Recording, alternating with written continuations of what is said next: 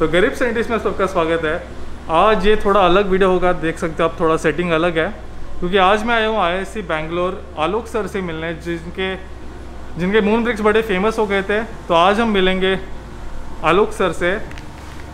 और अभी बढ़ते हैं आगे। तो ये वीडियो थोड़ा अलग होगा। काफ़ी सारे देश चाँद पे जाने का प्लान कर रहे हैं, जाने का ही नहीं, वहाँ सस्टेनेबली रहने का प्लान कर रहे हैं मून बेस बनाने का प्लान कर रहा है। अमेरिका नासा अपना आर्टिमिस मिशन बना रहा है यूरोप के साथ और दूसरे देशों के साथ। चाइना और रशिया साथ में आके मून के बड़े प्लान डिस्कस कर रहे हैं। भारत का क्या? भारत के प्लान तो है कि चाँद पे जाएँगे वगैरह, पर वो काफ़ी टाइम बाद है, यानी बीस पंद्रह साल के बाद एज ऑफ़ नाउ बीच में अगर कुछ चेंज आता है तो ठीक है, नासा को ज्वाइन करता है, जो भी है। पर जो भी है 80 परसेंट मेरी ऑडियंस अपने लाइफ टाइम में भारत को चाँद पे और भारतीयों को चाँद पे ज़रूर देखेगी। जो भी है, जब हम वहाँ जाएँगे तो हैबिटेशन कैसे बनाएँगे? मतलब घर वगैरह जो भी है, कैसे बनाएँगे? काफ़ी सारे आइडियाज़ है। हम चेम्बर अर्थ से लेके जा सकते हैं अंडरग्राउंड डाल सकते हैं या ओवरग्राउंड डाल सकते हैं। पर बेस्ट मेथड हैबिटेशन का होगा इन सीटू इन सीटू मतलब क्या? जो भी रिसोर्सेज या जो भी चीज़ें चाँद के ऊपर अवेलेबल है, उसे ही यूज़ करके हम अपना घर वगैरह बनाएँगे। तो ये आज ही एक इंटरेस्टिंग साइंटिस्ट से मिलाऊँगा। आपको जो है अपने आलोक कुमार सर और उनकी टीम जो लूनार ब्रिक्स पे काम कर रहे हैं। सबसे बड़ा क्वेश्चन आता है कि धरती पे लूनार ब्रिक्स यानी चाँद के ब्रिक्स बनाने के लिए मिट्टी कहाँ से आएगी चाँद तो देखो आ, हमारे पास मून से तो सैंड आएगा नहीं। Because there are this very few samples and bringing samples are difficult moreover it is not that much important to get soils from real the real samples from moon and the reason is कि हम लोग astrophysical theories है कि moon and earth had a very similar origin इसका implication ये होना चाहिए कि अर्थ पे भी ऐसे रॉक्स में होने चाहिए जिनका कॉम्पोजिशन मून से की मिट्टी से बहुत मेल खाता हो।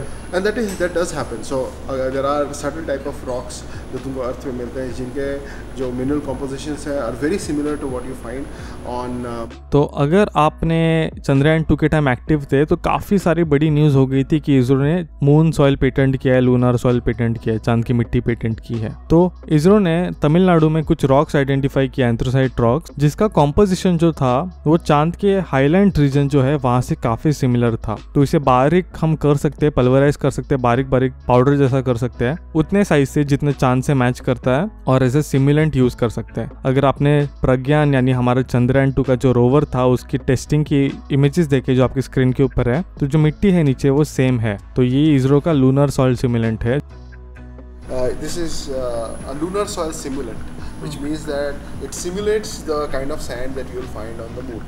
Okay, uh, almost white मिट्टी जैसी है. वही पूछने वाला था कि जो न्यूज़ बहुत वायरल हो गई थी कि ISRO has patented some lunar soil ये ये था वो। ये वही है राइट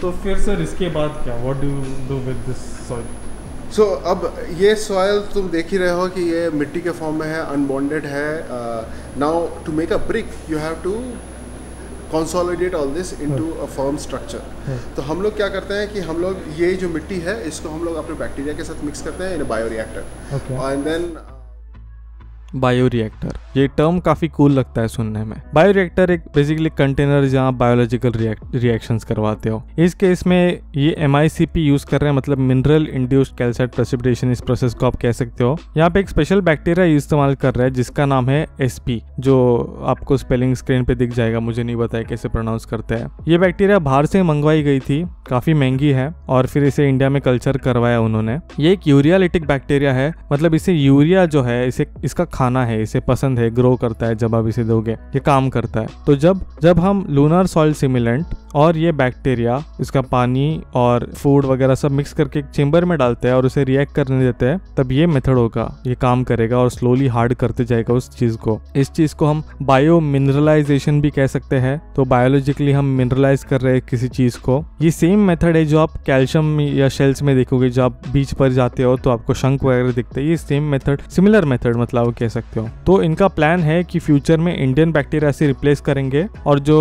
एक नेशनल इंस्टीट्यूट है उसमें ये बैक्टीरिया अवेलेबल भी कराएँगे ताकि कोई भी खरीद सके आप भी खरीद सके और इनके क्लेम्स चेक कर सके जो भी है। तो इसके ऊपर काम चल रहा है। यही नहीं इसके लिए एक स्पेस मिशन भी प्लान है बैक्टीरिया का जो स्पेस में ग्रोथ कैसा है कैसा रिएक्ट कर रहा है चेक करने के लिए। तो ये सब इन प्लान है। तो काफ़ी एक्साइटिंग टाइम से आगे हमारे लिए। तो इस इस चीज़, पूरे चीज़ को सर कुकिंग कहते हैं यानी बिरयानी बनाने का एग्ज़ाम्पल दिया था। तो अभी हम पका चुके हैं टेक्निकली बट एक बार वापस। It is it comes out to something like this. This is, uh, for example, an output of the bioreactor. अभी ये जब निकलता है उस बायोरिएक्टर से तो थोड़ा लिक्विड ही लिक्विड होता है। तो इसे फिर ओवन में डालना पड़ता है ड्राइंग के लिए। क्या करना पड़ता है uh, कि उसको फिर हमें ड्राइंग प्रोसेस करना पड़ता है। बिकॉज़ जब हम लोग पहले निकालते हैं तो वेट होती है राइट तो ये देखो ये निकला हमारे अवन से पका पकाया ब्रिक पर आप देख सकते हो इसका शेप बराबर नहीं है राइट मतलब ये कैसे यूज़ करेंगे हम डायरेक्ट Uh, मुझे एक अजीब ब्रिक दिख रहा है यहाँ तो वही सर को पूछना है कि ये एग्जैक्टली exactly क्या है? Why is this different from this brick